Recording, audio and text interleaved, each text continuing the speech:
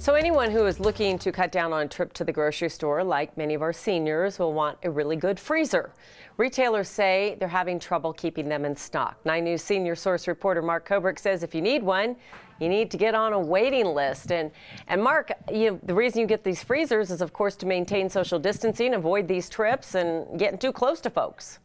You're absolutely right. A freezer can cut your trips to the grocery store. Also, you can stock up on all kinds of sale items, which helps you meal plan further out and makes fewer trips to the grocery. And freezers also extend the life of a lot of staples that might surprise you. And I'll show you more of that list in just a moment. But first of all, this is another pandemic related story because manufacturers say they are finding it impossible to keep up with the demand for these little freezers. And we're talking about those little chest freezers. You know, they're about seven cubic feet inside, very affordable, about 230 to $250. And they last for years with very little care. They run on about $30 worth of electricity a year, and they can hold a mountain of food, as you can see. And that's why they have become the darling of the pandemic for those households looking to store a lot of those instant frozen meals and other bargains that allow them to make fewer trips to the grocery. But our expert, Professor Dawn Thilmany at CSU Regional Economic Development Office, says that the problem here is that we're not going to see a lot of them in stores anytime soon because all the raw materials for these freezers, the raw materials that make them, come from China.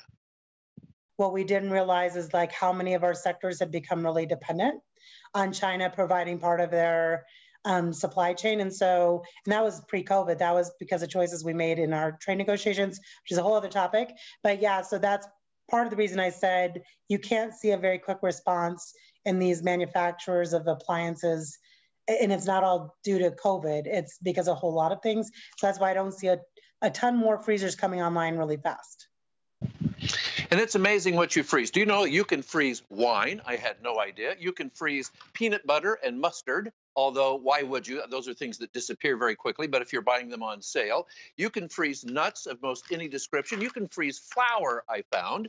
You can freeze bananas, but you have to peel them first and put them in a separate bag. With eggs, you can freeze eggs as well, but first you have to crack them all and put them in a different container. And Kim, the same is true of, of milk. You have to pour your milk in a bag, save the container, but you can freeze milk as well. Who knew? I, I, I, had no idea, Mark. And now, I, I would say, why would you ever freeze wine? Um, but, but um, that's like, you know, that all those things. I mean, a lot of folks are doing that. Personally, I think a frozen banana tastes better than a real thing. I'm, I'm totally with you on that. But so, like, let's say you are fortunate you do have an old freezer and then it quits on you. Can those be repaired fairly easy?